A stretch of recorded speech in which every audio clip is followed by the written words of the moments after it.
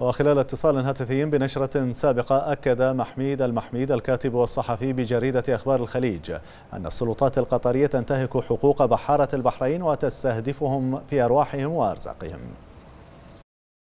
معاناة الصيادين البحرينيين آه، في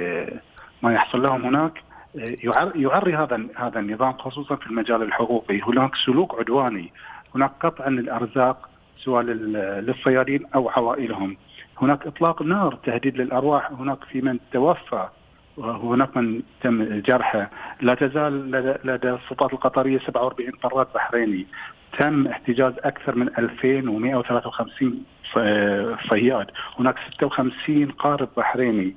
آه، هذه الاعتداءات المتواصلة عبارة عن قرصنة بحرية استهداف ممنهج للصيادين البحرينيين.